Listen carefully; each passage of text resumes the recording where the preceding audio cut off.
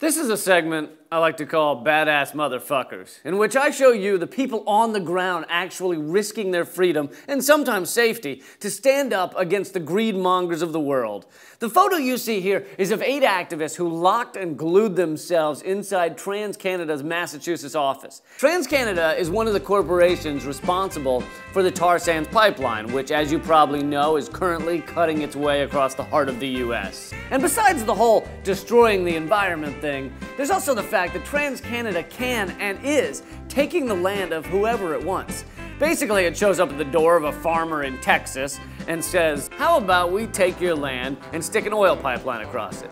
And then the person says, No, thank you, I'm trying to quit.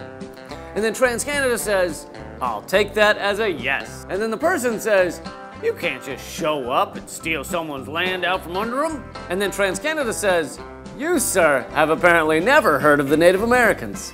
These kids are fucking badass motherfuckers. Because if we were all doing what they're doing, TransCanada couldn't be the societal blisters they are. I'm Lee Camp, and this is Moment of Clarity. Subscribe on YouTube, follow us on Twitter at Lee Camp, follow us on Facebook. Keep fighting.